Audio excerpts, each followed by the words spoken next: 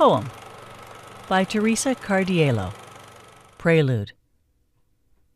My mother waddled around the kitchen, cleaning and cooking, and not interacting with the four little ones, crying, kicking, running, throwing. She kept her eyes on the clock. Ten o'clock was nap time, theirs and hers.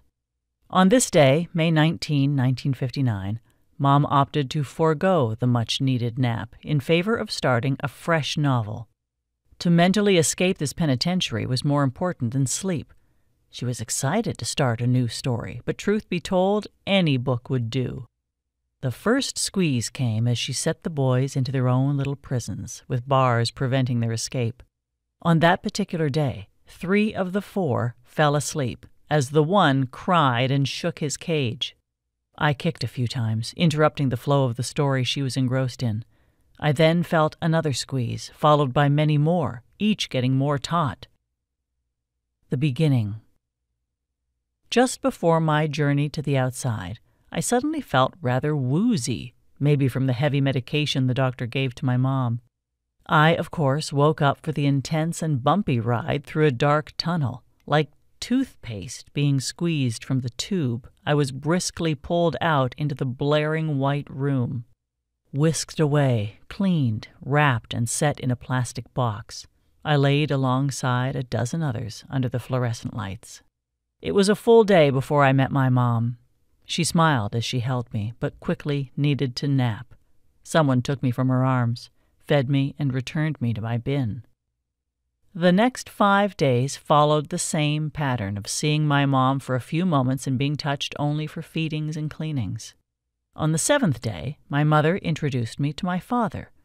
I recognized his face from him looking through the large window, checking out the baby laced containers.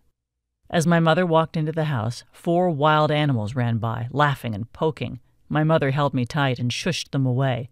Siblings, a feral creature. I sensed my mother's exhaustion and instinctively wanted to be easy for her. When I was hungry, I would have to wait until my mom thought it was time to feed me. When wet, I learned to silence my complaints. Even in the first days of life on the outside, I understood that I was the fair haired child, somehow set apart from the pack of wolves. Similar to my Tupperware days, I spent lots of time alone, but noted the feeling of being loved, the mantra that was sung from the village Finally, a girl! Childhood. I was always a bit of an outsider, both at home and at school. I kept to myself as the nuns kept the classes in order. I just remember the feeling of being shuffled here and there, and being two steps behind, both socially and academically. One of the pack was held back in first grade. Actually, several had to repeat a grade. To my chagrin, this left me with one kin in my class and another in the grade above me. A memory. At my father's staff Christmas party, my father announced that his daughter could sing a carol. Being shy by nature, I walked slowly to the microphone. Of course, one brother ran up to join me. He couldn't bear the bright spotlight to be shone on me alone. I quietly sang, as my brother loudly fumbled through the words. The large crowd laughed and clapped as my brother ran off. I walked back to my mother's side, where I burst into tears. Practicing cheerleading moves by myself, I froze as a ridiculing wolf walked by.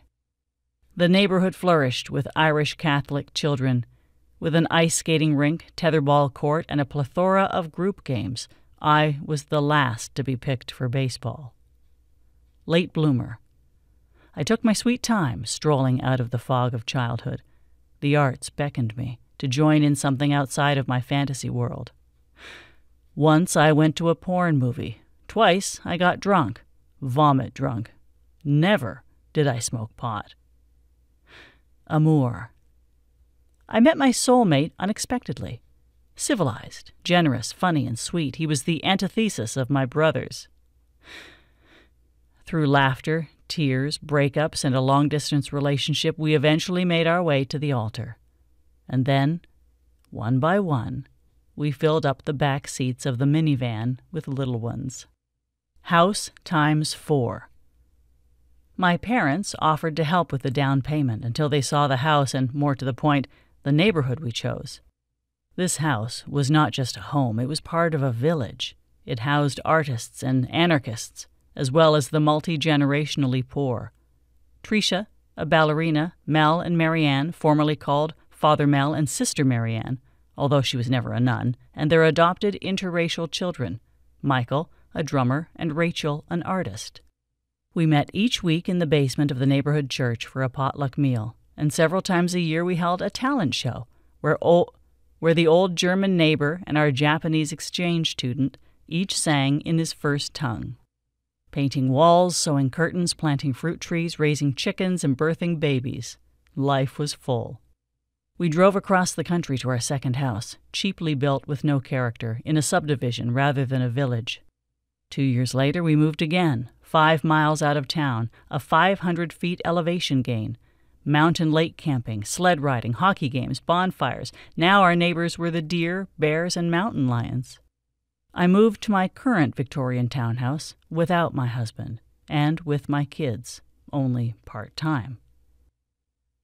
Triple D's decline, divorce, and death. He was always fearful of the month.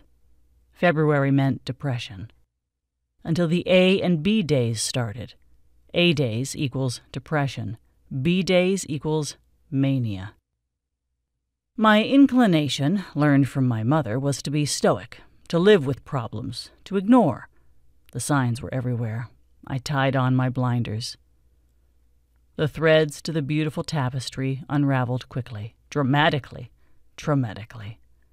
One day, I opened my eyes to my new life. My beloved and I reached out to each other and touched, retouched. Soon came the unexplained bruising, the doctor's visits, the funeral, as if six months were painted with one stroke. Addendum Last month I traveled south with my new partner. This experience will be an addendum. The major chapters were written, edited, and reimagined with a copyright date, the first edition propagated. My long term memories are already formed. I welcome the new, the short term.